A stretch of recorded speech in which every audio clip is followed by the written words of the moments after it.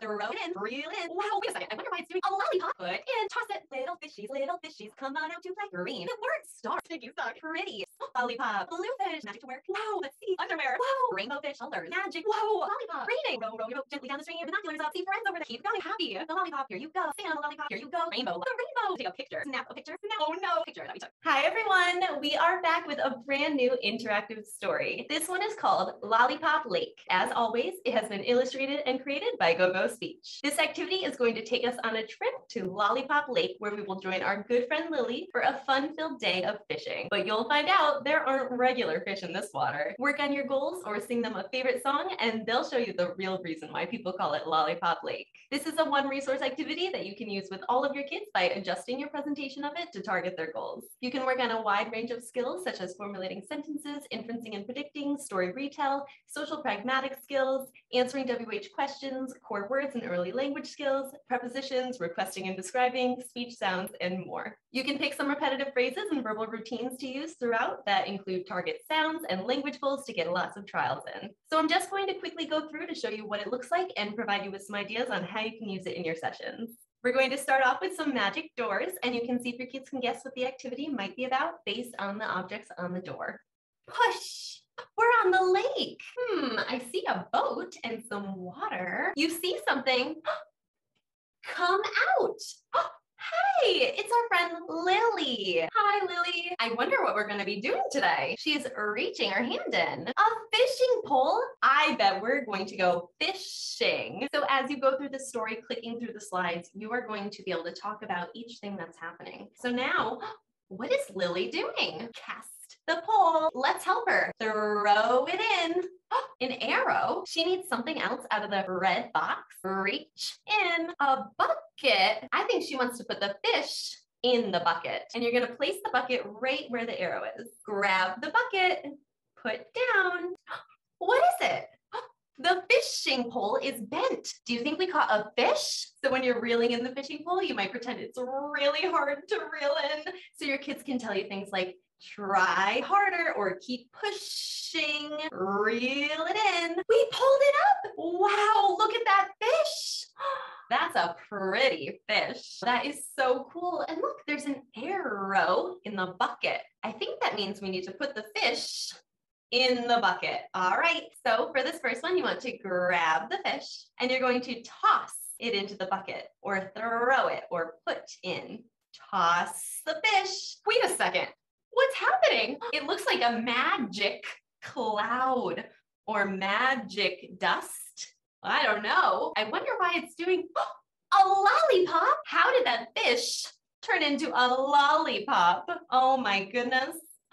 It looks like Lily loves lollipops and you'll get lots of L sounds in there. So I think we're gonna be collecting this lollipop instead of the fish. I can't believe it turned into a lollipop. That is pretty cool. So same thing that you were going to do with the fish, you're gonna take the lollipop and you are going to put in. It made it into the bucket. All right, we have our lollipop in the bucket. Now it looks like it's time for us to cast the fishing pole again. So whatever you have your kids say each time you cast or each time you pull up the fish, that's all to be depending on what your kids are working on. So whatever speech sounds or language goals they're working on, you want to address that during those repetitive phrases.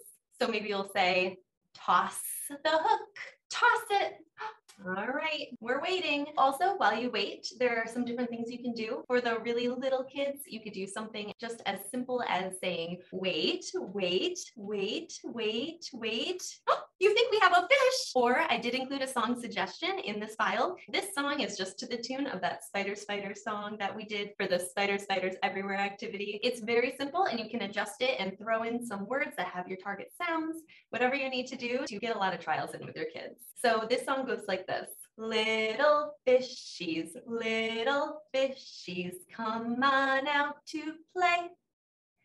Little fishies, little fishies, please don't swim away. So that's something you can sing every time you're waiting for the fish to bite the hook. And again, change it up as needed. A fish, reel it in, a green fish.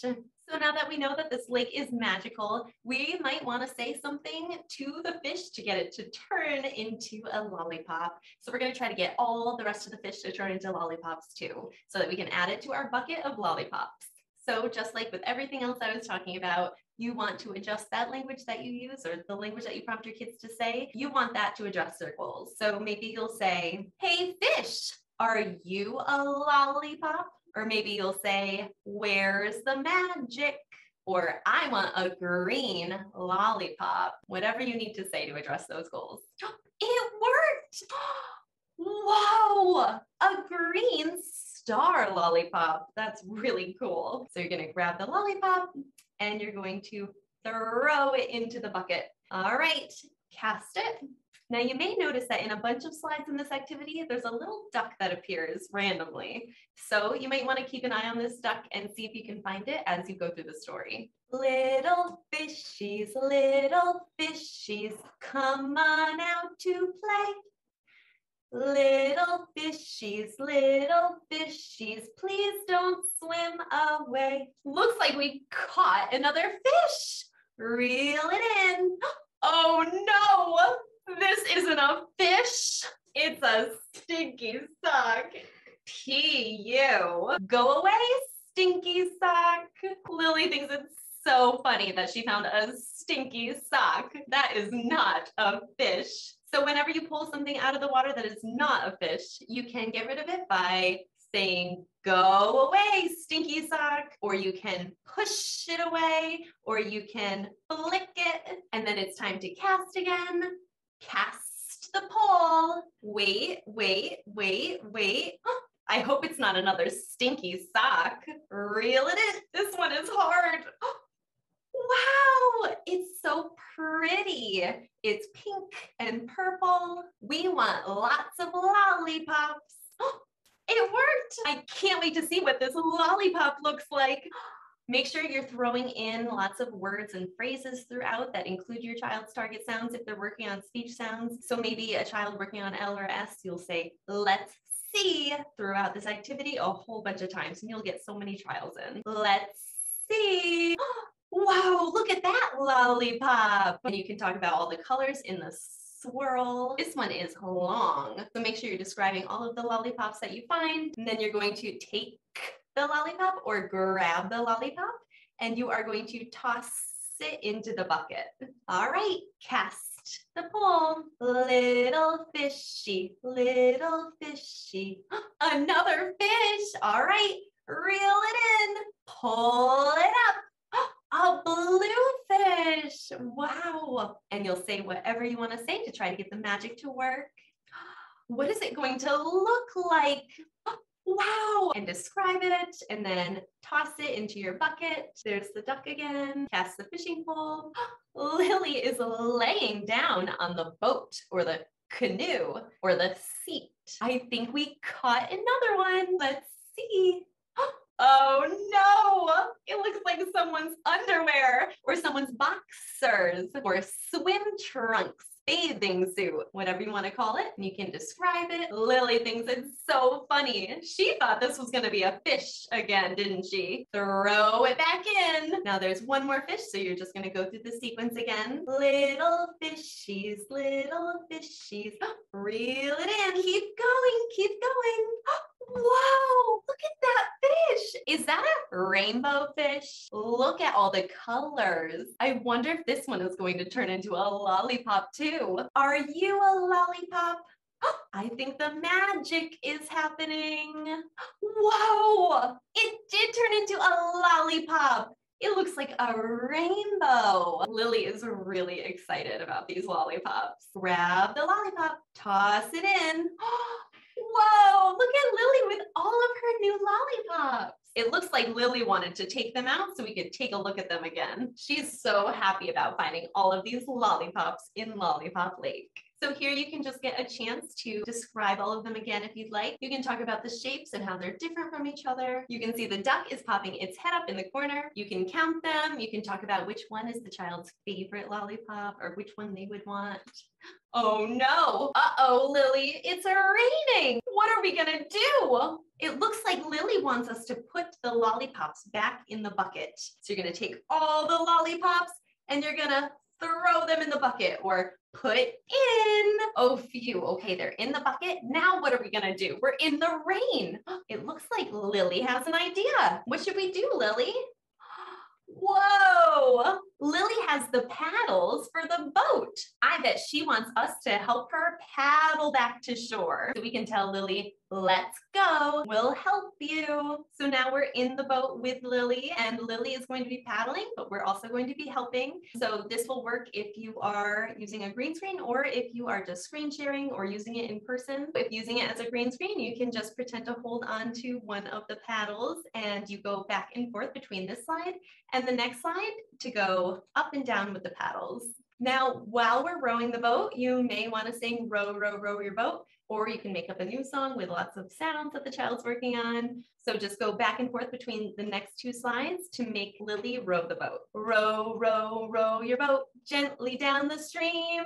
Merrily, merrily, merrily, merrily, life is but a dream. Whoa, does Lily see something? What do you see? She has binoculars. She must see something pretty cool. I want to see what she sees. Can we try them, Lily? Then you can have your kids pretend to get their binoculars up. Whoa, this is so cool. I see a campfire, some tents, a picnic table, some trees. Hmm. I wonder if there's anything else over there. Let's keep looking. Whoa, what do you see here? I see friends over there. I think they want us to come join them. They look nice and dry under that roof. Let's go see them. We're still in the water though. We better row faster. Keep going. Get closer to shore. So if you want, you can sing the song again as Lily continues to row the boat. We almost made it to shore. We're so close. Keep going, Lily. A little bit more. Yay, we made it. Now we can go get dry under that roof. Hey, now we can say hi to all of our friends. We made it. Lily is saying hi. So we have our friends Billy, Phoebe, Sam, and Kevin. You may recognize these characters from our previous activities. However, we do have a new character, Phoebe. You can use the GoGo speech names for them, or you can change the names of all of the characters in the stories to better address your kids' goals. So if you're working on a certain sound, you may want to change all of their names to start with that sound or to have that sound in it. So you can individually say hi to all of our friends. Hi, Billy. Hi, Phoebe. And then Wow, Lily showed them all the lollipops. I think they're happy. So you go back and forth between these two slides and you'll see Phoebe's jumping, Sam is throwing his arms up in the air, Billy's doing a little dance, and Kevin's giving a thumbs up. I think they're pretty excited about these lollipops. Now Lily is going to share her lollipop. She's going to give them away to each of the characters one by one. So here you can make some really nice sentences. Lily is giving Billy a lollipop, or you can say, Billy, take the lollipop. Here you go. So whatever you decide to say here, you can use for each of the characters. Here you go. Here's your lollipop, or you get a green one. Lily's giving Sam a lollipop. Here you go, Kevin. And it looks like there's one left. I wonder if that's for Lily. Lily picked the rainbow lollipop for herself. She really likes that one. Now your kids might notice that the rain stopped and the sun is coming up in the corner up there. Lily looks surprised. Why? Is there a rainbow up there? That looks like her lollipop. That is so cool. Let's go look. Wow, look at the rainbow. That is beautiful. And everyone is eating their lollipops or they're licking their lollipops. They look really yummy. And it looks like Lily is holding something. Is that a camera? Whoa, it looks like Lily wants us to take a picture. I think she wants you to help take it. Grab the camera. This is going to be a beautiful picture. So you can have your kids hold their hands up and pretend to take the picture, press the button, snap a picture, whatever you want to say to get sounds in, and snap the duck. What is he gonna do? Oh no, the duck is licking her lollipop. Everyone thinks it's so silly or so funny funny. I guess the duck really wanted a lollipop all along. And then the last slide of the file shows Lily holding the framed picture that we took. Now she can always remember her day at Lollipop Lake. If you're signed up as a GoGo member, you will also get access to some different printable PDFs that go along with this activity. So these printable PDFs can be used in person or emailed over to the parents to be used at home during your virtual sessions. So GoGo members will get a printable of each of the fish that are seen in the story, as well as a printable of each of the lollipops that they turned into. So you can play around with these images in your sessions. Maybe you'll cut them out or turn them into a game, or maybe present them each time you get to that object in the story and have the child collect those pieces along the way. GoGo members will also get these printable coloring pages that go along with this activity. So we have a coloring page of a fish. So this can be colored with whatever your child's favorite colors are, as well as a coloring page that includes each of the lollipops. For those kids that are really motivated by coloring, they may enjoy coloring in each of the lollipops as they are revealed throughout the story, or it can be something given at the end of the activity for some reinforcement. In addition to those, we also provide a companion book for each of our members for every single activity that we put out. These companion books are shortened versions of the stories and games, and they can be printed out and cut out for sequencing activities, which are really great for in-person use. These PDF companion books are also super useful because you can write or type your child's target sounds on it after your session and then send that over to the family. So if you're in person, you can print it out and send that home with the child. Or if you're virtual, you can email this companion book right over to the family and they can go through the story and they can work on the target sounds that you included on the PDF as well. So that's Lollipop Lake. I hope you all have a blast with it. Make sure you're following GoGo Speech on Instagram and Facebook and subscribe to our YouTube channel to stay up to date on our latest releases. I'll see you all next time. Bye.